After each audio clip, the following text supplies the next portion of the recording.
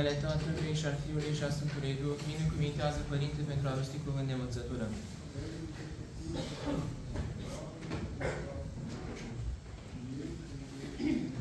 Amin. Și văzând Iisus credința lor, i-a zis slăbănogului, Fiule, iertate sunt păcatele tale. Preacuvioși părinți și iubiți frații într Hristos, ne aflăm astăzi în cea de-a doua duminică a Apostolului Mare, duminică numită a Sfântului Grigorie Palama, în care de asemenea prăznuim pe Sfântul Simeon, noul teolog, și pe Sfântul Grigorie Dialogul. Și după cum au rânduit părinții bisericii noastre, iată că astăzi la Sfânta și Dumnezeiasca Liturghie am ascultat o pericopă evanghelică din capitolul 2 din Evanghelia după Marcu despre vindecarea slăbănogului din Capernaum. Și ne spune Sfânta și Dumnezeiască Evanghelia. Și intrând iarăși în Capernaum, după câteva zile, s-a auzit că este în casă. Și îndată s-au adunat mulți, încât nu mai era loc nici înaintea ușii, și le grăiau cuvântul. Și au venit la el, aducând un slăbănoc pe care îl purtau patru inși, și neputând ei din pricina mulțimii să se apropie de el, au desfăcut acoperișul casei unde era Iisus. Și prin scărtură au lăsat în jos patul în care zecea slăbănogul. Și văzând Iisus credința lor, a zis slăbănogule, fiule, iertate sunt păcatele tale.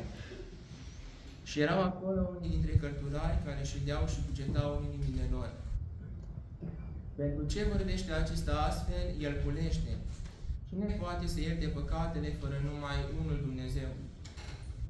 Și îndată, cunoscând Iisus cu Duhul Lui, că așa cugetau ei în sine, le-a zis lor, De ce cugetați acestea în inimile voastre?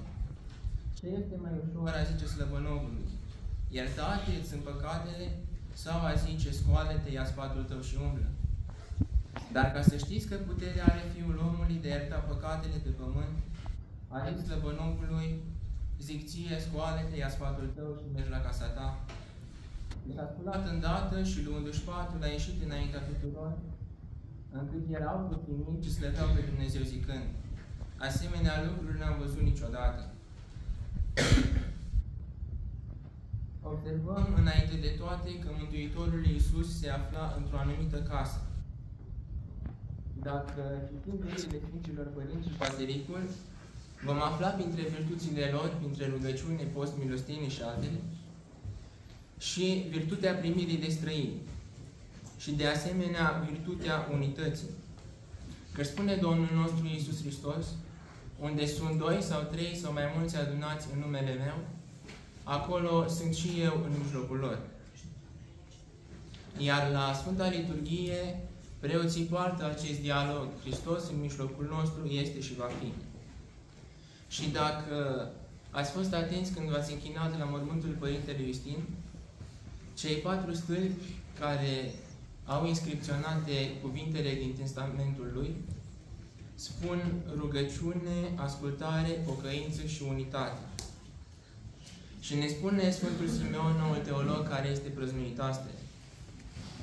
Străbătând prin toate de la cele din tâi și până la cele din urmă, ca de la cap până la picioare, Sfânta Treime îi strânge pe toți și el îi pește, îi unește și îi leagă de ea însiși.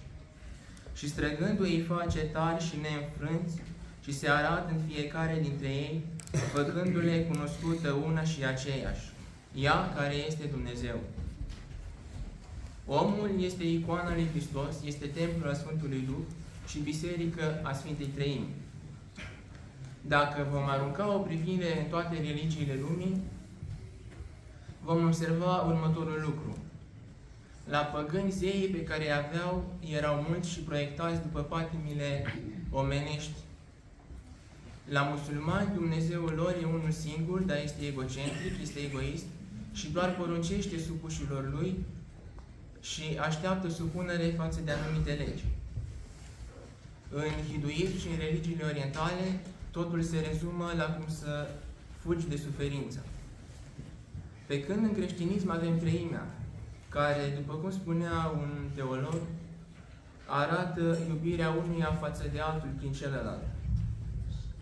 Omul trebuie să fie în unitate cu semenii săi, cu aproapele și cu întreaga biserică. De aceea, dar pentru aceasta, întâi de toate, trebuie să-și facă inima lui Biserica lui Hristos. Și în cartea Apocalipsei este arătată o imagine când Hristos spune, iată, eu stau la ușă și bat și de va auzi cineva glasul meu și îmi va răspunde și îmi va deschide ușa, voi intra la el și voi cina cu el. Dar, deși în această imagine Hristos este închis în afara inimii și așteaptă să-L primim înăuntru, de multe ori noi îl închidem înăuntru inimii și nu-i dăm drumul. Și ce vreau să spun prin aceasta? De multe ori, prin egoismul nostru, îl privăm pe aproapele nostru să-L simtă pe Hristos lucrând prin noi. De aceea și mulți dintre, așa zis și atei ai lumii de astăzi, întreabă, unde este Dumnezeu când mor copiii bolnavi, când molime tulbură lumea, când războaie tulbură țările, când uh, cu tremură lăvesc pământul?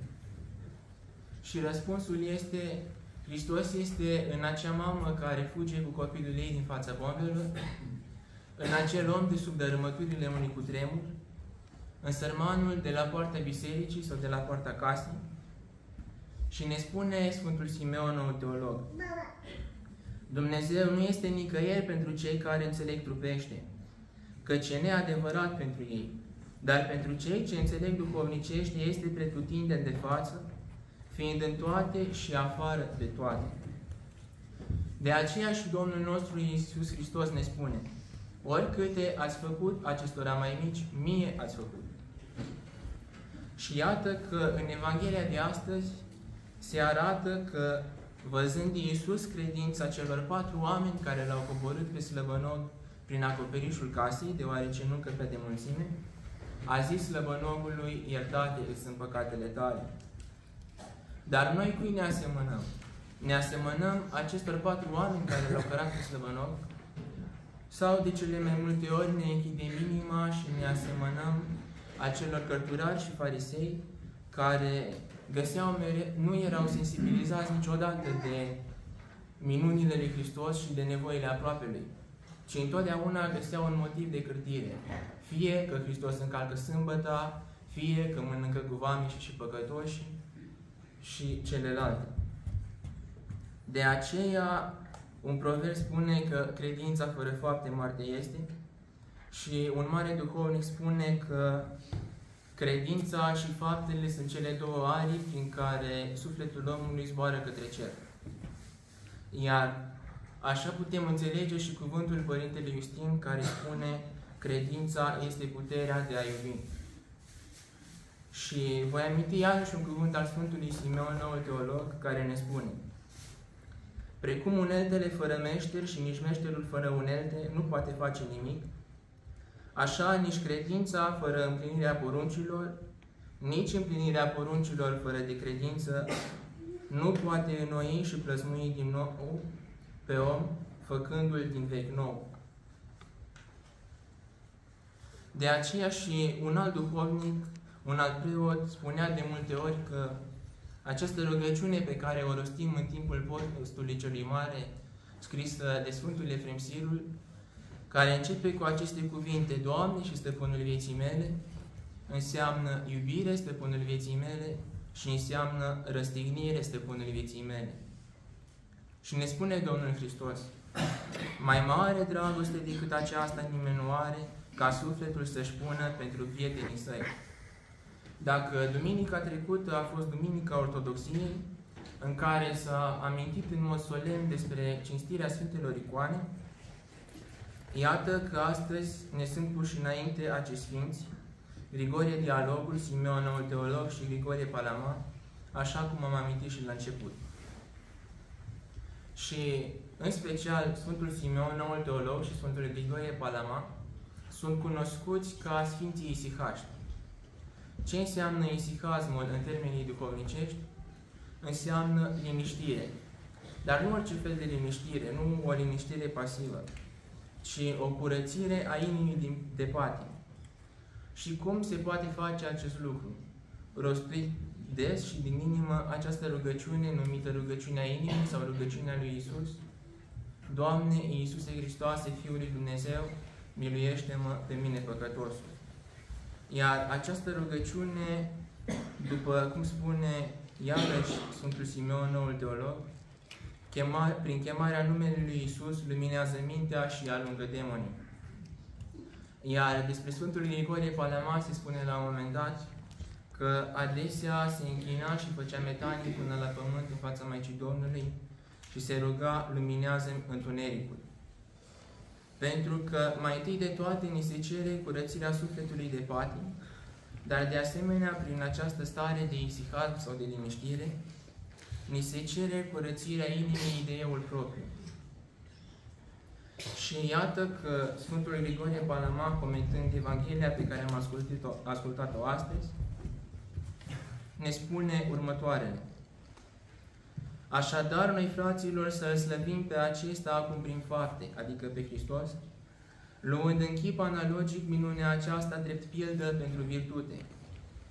Căci fiecare din cei legați de plăceri este un paralitic cu sufletul, zăcând pe patul durerii păcătoase și al părelnicei odihne trupești pe care o aduce această plăcere.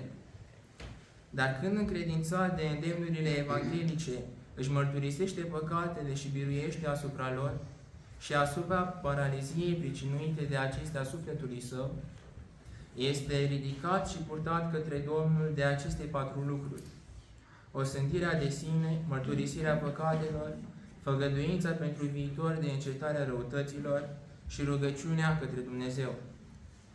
Dar acestea nu îl pot apropia de Dumnezeu dacă nu se desface acoperișul și nu se aruncă departe olanele, lutul și restul materialelor. Iar în noi acoperișul este partea rațională a sufletului, ca una care se găsește deasupra tuturor puterilor din lăuntrul nostru. Însă aceasta este acoperită ca de multă materie de legătura cu patimile și cu cele pământești. Dar când legătura aceasta este nimicită și aruncată la pământ de aceste patru lucruri, atunci cu adevărat putem fi lăsați în jos, adică cu adevărat ne sperim, cădem înainte și ne apropiem de Domnul, cerând și primind de la El vindecare, vindecare de această slăbănocire a sufletului nostru. Cum ne apropiem deci de Dumnezeu? Nu este însă de ajuns nici doar zdrăbirea eului propriu, ci este necesară și deschiderea inimii față de durerea celuilalt, așa cum au făcut acești patru oameni care l-au adus pe slăbănoc înaintea lui Hristos. Și de aceea, într-o conferință teologică acum câțiva ani, printre cuvintele care s-au spus acolo multe și, din păcate, puține din experiență, a venit un preot, un cunoscut teolog, și a spus acest lucru, că vârful isicazmului românesc contemporan a fost Părintele Iustin. Și de ce aceasta? Pentru că viața lui a fost o viață de rugăciune și de slujire a aproapelui. și ne spune Sfântul Maxim Mărturisitorul, sporim în apropierea noastră față de Dumnezeu prin faptele pe care le săvârșim din iubire și credință față de Hristos și față de aproapele nostru care este icoană a lui Hristos. Și asemenea Sfântul Simeon, noul teolog, ne arată Domnul a primit să ia asupra sa chipul fiecărui om lipsit și să se unească pe sine cu acela, ca fiecare văzându-l pe fratele său ca pe Dumnezeu, să-l primească și să-l socotească ca pe acela, și să deșerte avutul său spre slujirea Lui, precum și Hristos și-a vărsat sângele pentru mântuirea noastră. Iar al treilea sfânt pe care îl prăznuim astăzi, Sfântul Vigorie Dialogul, ne spune și el acestea. În fiecare zi hrăniți trupurile voastre cu cele necesare pentru a le păstra sănătoase. În același fel, faptele voastre cele bune trebuie să fie hrana voastră cea de zi cu zi Trupurile sunt hrănite cu mâncare, iar sufletul cu fapte bune. Nu trebuie să refuzați sufletelor care trăiesc veșnic, ceea ce oferiți trupului care este trecător. Dar nu doar milostenie este chipul prin care îl ajutăm pe aproapele. Iar un alt cuvânt spune așa, că adevărata jertfă nu este să dăruiești din ceea ce ai, ci să dăruiești din ceea ce ești. Iar Apostolul Pavel ne îndeamnă în acest sens, primiți-vă unii pe alții, precum și Hristos va primi pe voi. Există fapte ale milosteniei trupești, a da mâncare celui flămând, a adăpa pe cel însetat, a îmbrăca pe cel gol, dar există de asemenea și fapte ale milei sufletești, a te ruga pentru cel de lângă tine, a îl mângâia pe cel care are un necaz, a a-l ajuta pe cel sărman, a-i da un sfat celui care, nevoie, care are nevoie de el. Ceea ce avem de învățat noi în această duminică a doua Apostolului Mare, atât din cuvintele acestor sfinți pe care i-am prăznuit astăzi, Sfântul Grigorie Dialogul, Sfântul Simeon Noul Teolog și Sfântul Grigorie Palama, cât și din Sfânta Evanghelie, este, cred, rezumat în aceste cuvinte ale Sfântului Proroc Isaia, care ne spune acestea. Nu știți voi postul care îmi place, zice Domnul.